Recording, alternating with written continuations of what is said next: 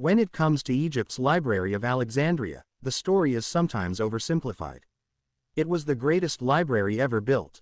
All the great works of the time were housed in the library. The library burned and much of the greatest literature and books on science from the period were lost forever. But the real story is much more complicated. The real question surrounding the library is whether or not it had any effect on history at all. The Library of Alexandria was one of the largest and most important libraries of the ancient world, and just like historical figures at the time, much of what is known about the library is a mix of truth and legend. The library was tasked with collecting all of the knowledge of the world and they were giving the funding and the royal mandate to do it. Scholars traveled the world to find books to bring back to the library. Any boat that docked at Alexandria had their books confiscated and taken to the library. The scholars would then copy the books down on papyrus and give the copies back to the owners of the book. International scholars were also welcomed at the library and they were given the money to travel to the library and the funds needed to live in the city and provide for their families. The scholars at the library were particularly well known for their work on the writings of Homer. But despite all the support given to the library by Ptolemy II, by the time of Ptolemy VIII, the library was no longer what it once was. Scholars had begun to leave for other libraries by the early part of the 2nd century BC in search of better pay and resources. International scholars were all expelled by Ptolemy VIII in 145 BC. If you enjoy my videos and are not yet subscribed please consider subscribing as it really helps this channel out. Undoubtedly, the Library of Alexandria was the largest in the world but it was not nearly as large as many would believe. It did house tens of thousands of scrolls, but nowhere near the hundreds of thousands that some sources might claim. This is largely part of the library that is now shrouded more in legend than truth.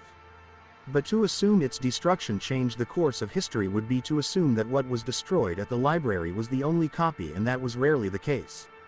While the library may have held many originals, other libraries around the world had their own copies of the great works of the time. The other issue surrounding the impact of the burning of the Library of Alexandria is the fact that there is no solid evidence it burned at all. Historians debate on when the library burned, if it burned, and whether or not there were a number of different fires that gradually destroyed the prominence of the library. The first time the library faced fire was in 48 BC during the siege of Alexandria. Julius Caesar set fire to the docks and his own ships in order to prevent the enemy from cutting off his lines of communication. It was said that this fire spread to the Library of Alexandria and destroyed it. The biggest point of dispute for this account is the work of Strabo 30 years later. Strabo wrote about the Museum in Alexandria that was attached to the library. Strabo did not mention the library but some believe this may have been because the two buildings were one in the same. Others question that if the library did burn when Caesar set fire to the docks, why didn't the museum burn as well? Some historians say it was the warehouses near the docks that stored manuscripts that burned in the fire, and not the library. Even if the library wasn't burned down by Caesar, it may still have been burned. In the 4th century CE, Emperor Theodosius outlawed pagan practices and ordered the temple of Serapis in Alexandria to be burned. So it is possible that the emperor also ordered the burning of the library, but there are no sources that reference a library burning or being destroyed. The final time that it could have been destroyed was in 642 when Alexandria was captured by the Muslim army under Amr ibn al-As. There are Arabic sources that claim the Caliph Omar ordered the destruction of the library. However, these Arabic sources were written long after the destruction was said to have occurred, and some historians believe the writings were politically motivated. A final possibility for the library is that it just fell into disrepair due to lack of interest, budget cuts, and the scrolls being moved elsewhere. As mentioned previously, the library was somewhat on a decline even before the supposed burning by Caesar.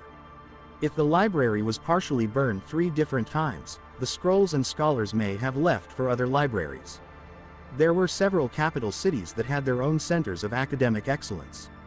The Imperial Library of Constantinople stood until 1204 and housed much of the knowledge and works of the Greeks and Romans. In fact, many of the Greek works that survive today are due to the Library of Constantinople. There was also the Academy of Gondishapur which came later in the 6th and 7th centuries, but focused on promoting science and medicine. Part of the work of the Academy was to translate the Greek and Syriac texts, and therefore many scientific and medical ancient texts survive due to this Academy. There was also the House of Wisdom in Baghdad from the 9th to the 13th centuries and it held the largest selection of books in the world at the time.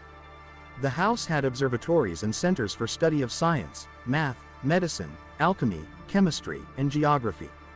Much of the knowledge and study at the House of Wisdom drew on the Greek texts but also on Syriac, Indian, and Persian texts.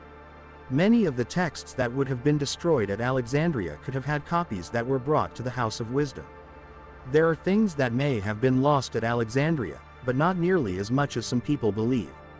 The works of Hero could have been there, some of them were saved by the Arabs but not every one. The works of Aristarchus of Samos could have been there as well the works of Hypatia. But the Library of Alexandria was not solely responsible for the loss of these works, and many of them would have been highly sought after around the world.